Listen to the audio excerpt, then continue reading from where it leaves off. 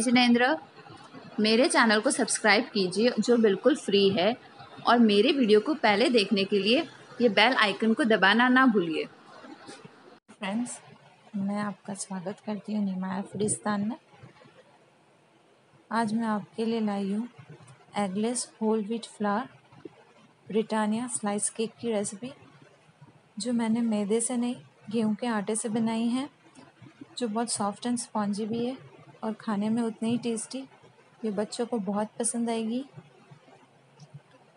आप देख सकते हैं इसका टेक्सचर एकदम बाहर का। जो ब्रिटानिया स्लाइस केक होता है, वैसा ही इसका टेक्सचर आया है।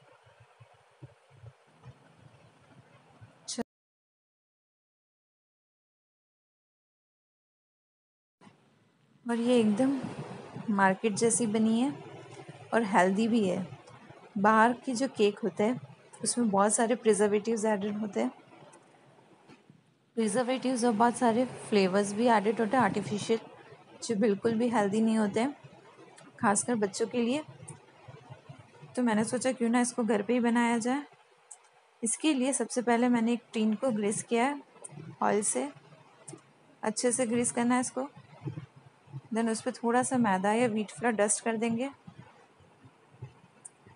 देन मैंने एक कढ़ाई को प्री हीट के लिए रखा है टेन मिनट्स के लिए, लो फ्लेम पे। उसके ऊपर ढक्कन लगा दिया है। उसके बाद मैंने मिक्सिंग बाउल में one fourth cup homemade condense milk condense milk की रेसिपी मैं आपसे जल्दी शेयर करूँगी। Then two table spoon oil कोई भी ऑयल चलेगा except olive oil then one fourth cup powder sugar जो मैंने उसको अच्छे से छान लिया ताकि इसके अंदर थोड़े भी लम्ब्स ना रहे। इसके लिए हमें इसको छानना बहुत ज़रूरी है। इसको अच्छे से मिक्स कर देना है। आप विस्कर से इसको अच्छे से मिक्स कर सकते हैं या फिर कोई भी स्पून भी चलेगा। ऑयल शुगर और कंडेंस मिल्क अच्छे से मिक्स हो जाने चाहिए। देखिए, ये मिक्स होने के बाद इसका टेक्सचर ऐसा दिखेगा। Then one cup wheat flour one teaspoon baking powder and half teaspoon baking soda. इसको इसमें ऐड कर देना है और इसको अच्छे से छान लेना है। इसको छानना बहुत ज़रूरी है। अगेन मैं रिपीट कर रही हूँ, ताकि हमारे केक के बैटर में बिल्कुल भी लम्स ना रहे। आप चाहे तो इसको दो बार भी छान सकते हैं। अब इसको हम अच्छे से मिक्स कर देंगे। मिक्स करने से पहले मैंने इसमें one fourth cup tutti frutti डाली है। और इसमें मैं आपके साथ एक टिप शेयर करना चाहती हूँ। इसमें टूटी फ्रूटी के अंदर मैंने one spoon wheat flour add किया है और उसमें टूटी फ्रूटी के साथ मिक्स कर दिया है। हम ये इसके लिए करते हैं ताकि जो टूटी फ्रूटी हो, वो इसके अंदर सिंक ना हो बैटर के अंदर। और जब केक बेक होगा, तब उसके अंदर अच्छे से मिक्स हो जाए और सिंक ना हो।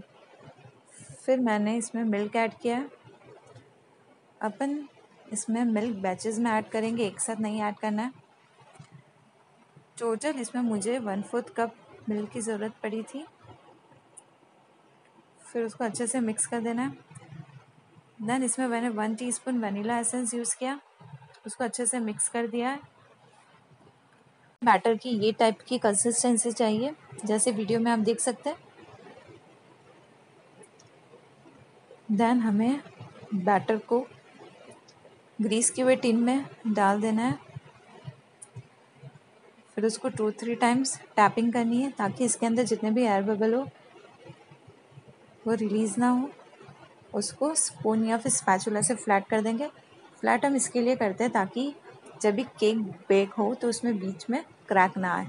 फिर ऊपर से टूटी फ्रूटी स्प्रिंकल करनी है और 25 मिनट्स टू 30 मिनट्स के लिए इसको प्री हीटेड कढ़ाई में रख देना है, लो मीडियम फ्लेम पे।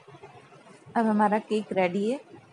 उसको टूथपिक की हेल्प से चेक करेंगे और उसको ठंडे होने के लिए रख देंगे। दो से तीन घंटे लगते हैं इसको ठंडे होने के लिए, और फिर इसको डीमोल्ड कर देंगे। अब देखिए, ये एकदम बाहर के जो बेकरी, ब्रिटानिया स्टाइल का जो केक होता है वैसा बना है। उसका टेक्सचर भी वैसा ही आया है।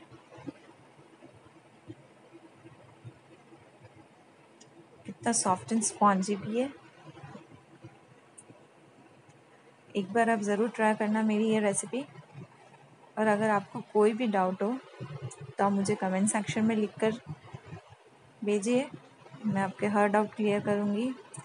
और अगर आपको मेरी ये रेसिपी अच्छी लगी हो तो मेरे चैनल को सब्सक्राइब एंड लाइक करना ना भूलिए और अपने फ्रेंड्स रिलेटिव से शेयर करें।